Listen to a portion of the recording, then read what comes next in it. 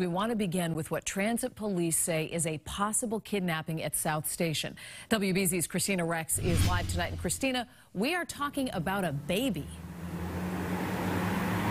Yeah, Lisa, a one-month-old baby boy. The good news is he is okay. So where I am right now, obviously not at South Station, I'm along the Fellsway West in Medford because this is the area where police actually arrested a man who they say is related to that baby boy and had to do with his brief kidnapping and disappearance. Now, police made that arrest shortly before 9 o'clock tonight after they put out an alert on social media that a one-month-old baby boy had possibly been kidnapped from South Station just before 8.30. 30. They say they arrested an adult man here in Medford. Now, it's unclear what charges he's facing, if any. They say that man they arrested is related to the baby who was taken just a half an hour before.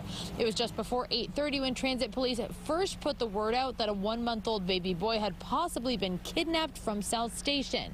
Police say early reports show that a man related to the baby may have forcefully taken the baby from his mother at South Station and then driven away with him.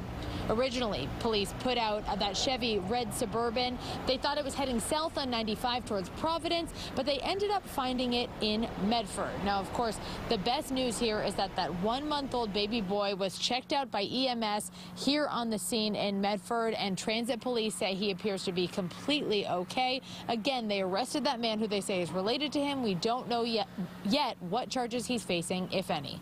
Live in Medford, Kristina Rex, WBZ News. Kristina, thank you.